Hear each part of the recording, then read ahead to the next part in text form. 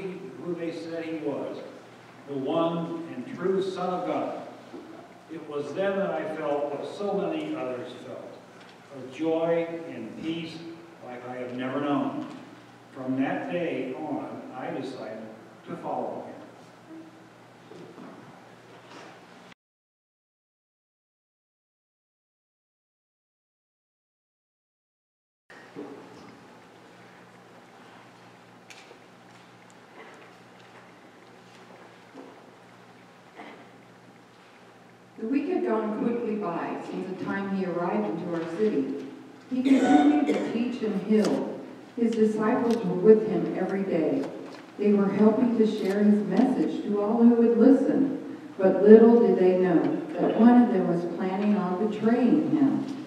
The Pharisees and Sadducees were looking for a chance to find him guilty of any cause.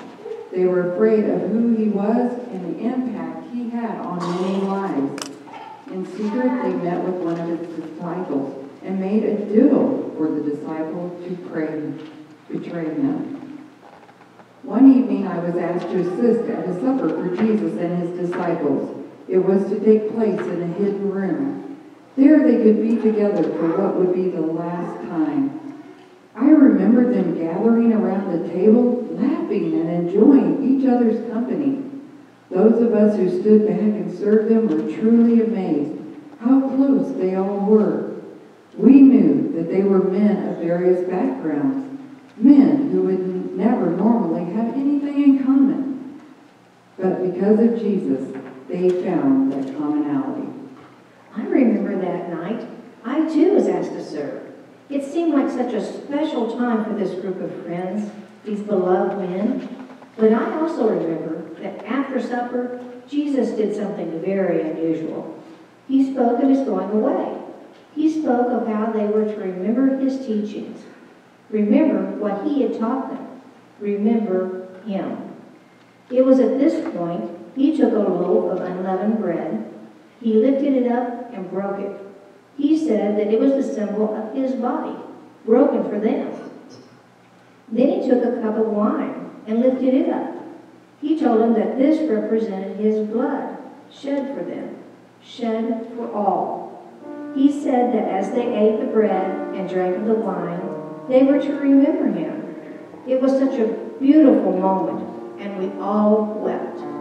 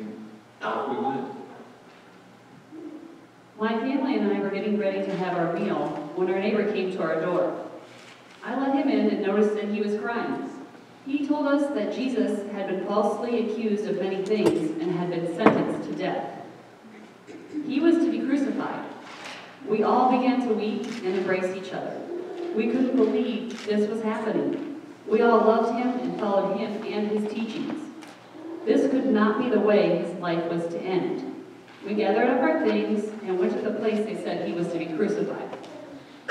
We wanted to see him alive one more time.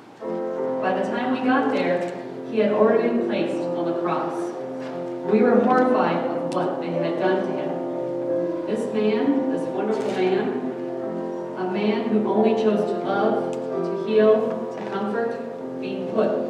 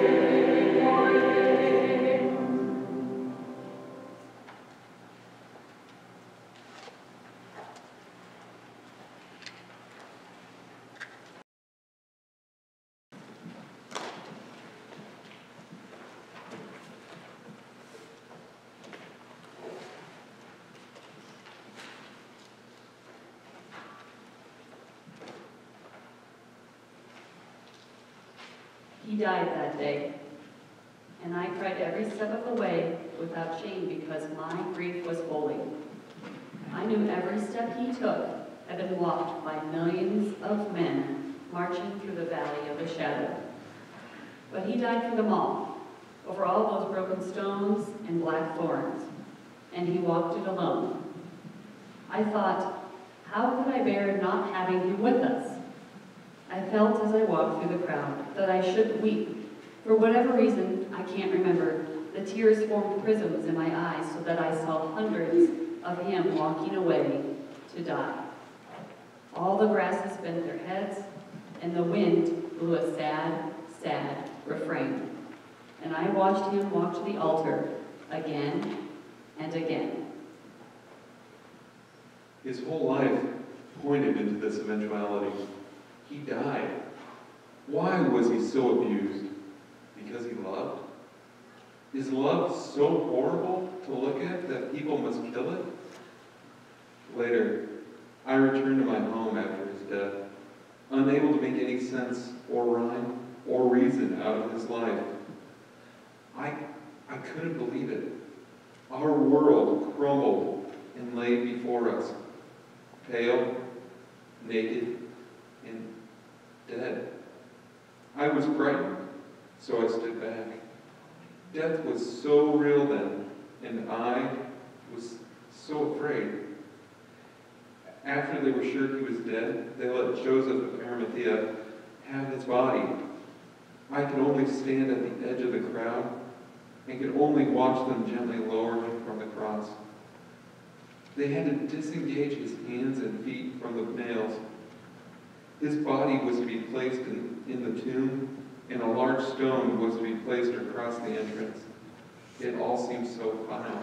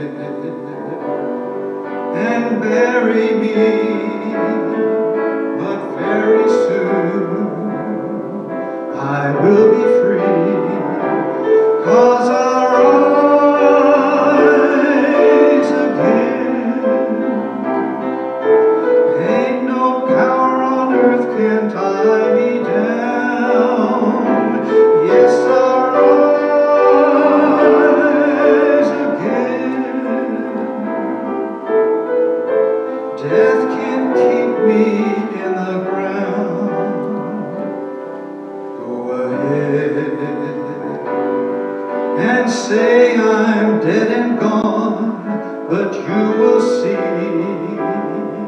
that you were wrong. Go ahead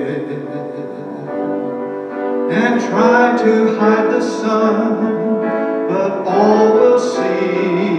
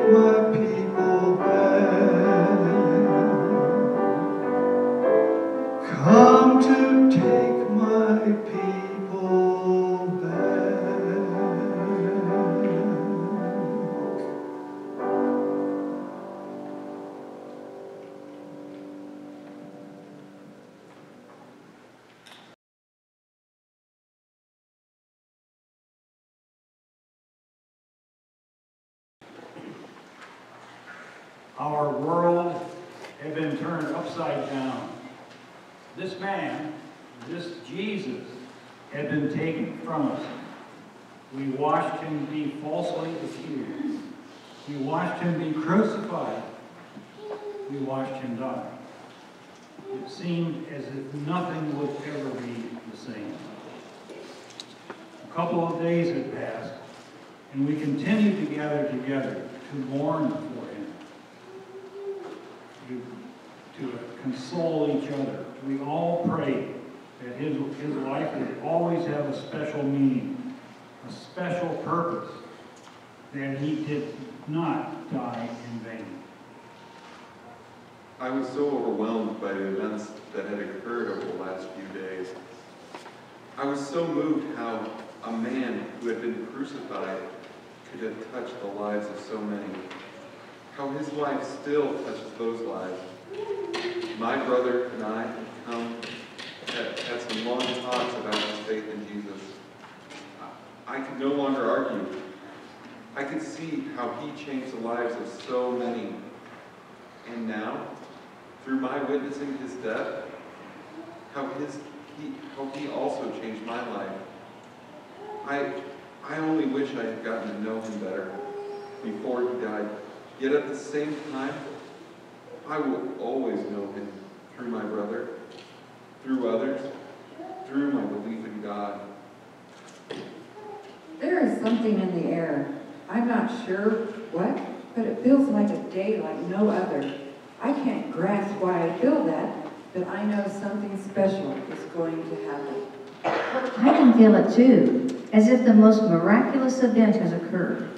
The morning seems so peaceful.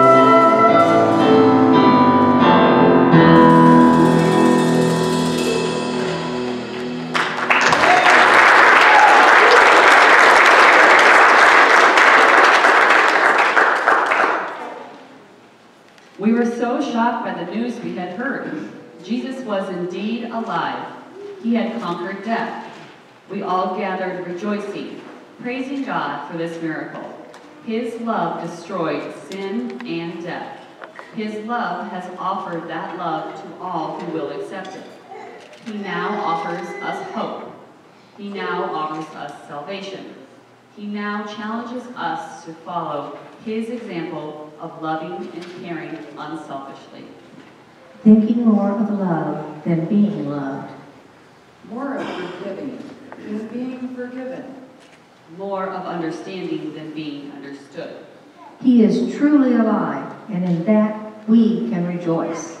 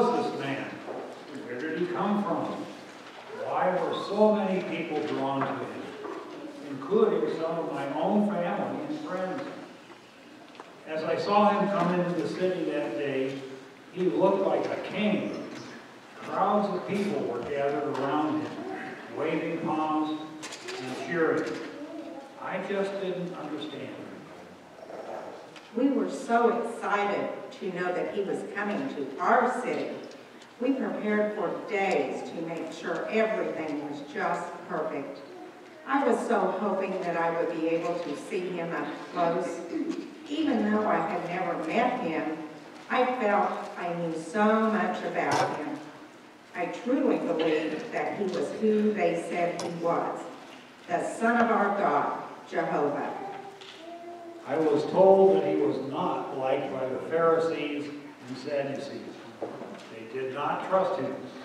They questioned how he could possibly be who others said he was, the Son of God.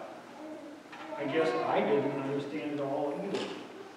I heard that he was a good man, that he had even performed miracles.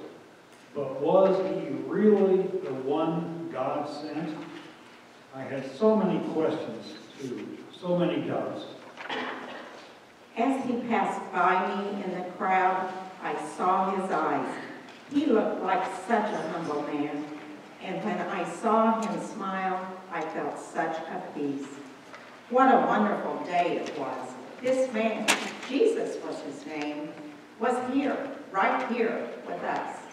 They called him King of Kings and Lord of Lords. It was a day I will never forget.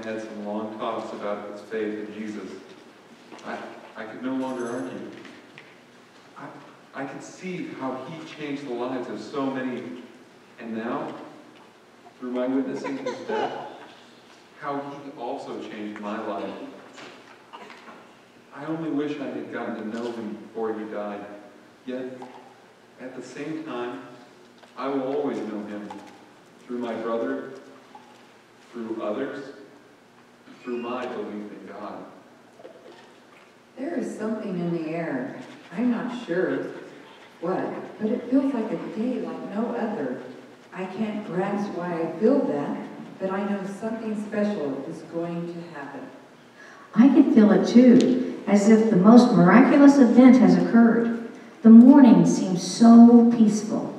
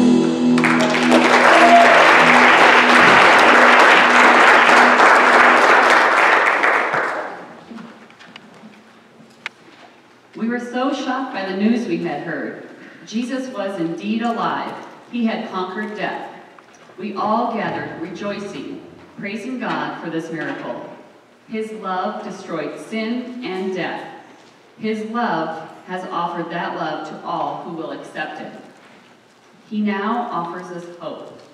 He now offers us salvation. He now challenges us to follow his example of loving and caring unselfishly. Thinking more of loving than being loved. More of forgiving than being forgiven. More of understanding than being understood. He is truly alive, and in that we can rejoice.